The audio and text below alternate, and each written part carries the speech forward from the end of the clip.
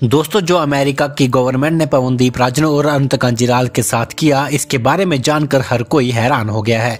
जी हाँ जैसा कि आप सब जानते ही हैं कि पवनदीप राजन और अनंत कांजीलाल अमेरिका में इस वक्त शो करने के लिए गए हुए हैं, और वहाँ जाकर इन चारों ने यानी पवनदीप राजन और अनंत कांजीलाल के साथ साथ मोहम्मद दानश और साइली कामड़े ने ऐसा परफॉर्म किया है कि अमेरिका की गवर्नमेंट ने इन्हें एक बहुत बड़ा सम्मान दे दिया है।